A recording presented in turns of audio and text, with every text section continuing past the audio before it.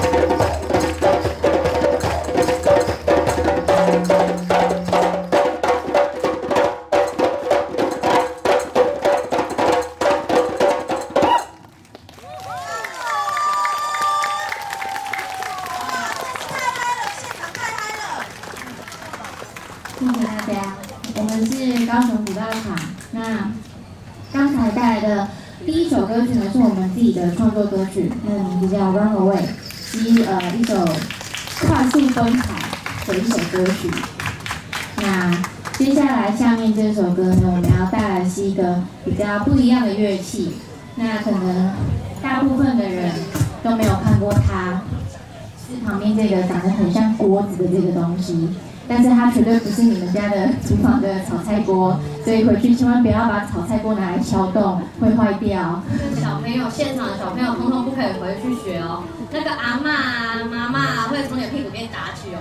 对，不能学哈。对，那下面这一首歌呢，也是一首我们的创作歌曲。那它听起来可能会稍微比较流行一点点，是一首比较流行感比较重的一首歌曲。那就。带给大家这首歌《远方》，然后我们的手碟的声音可以再大声一点点。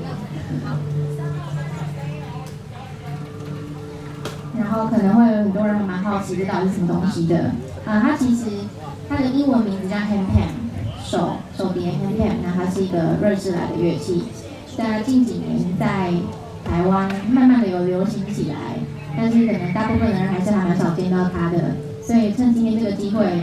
可能之后要再看到还蛮蛮难的，所以大家等下可以多多注意他。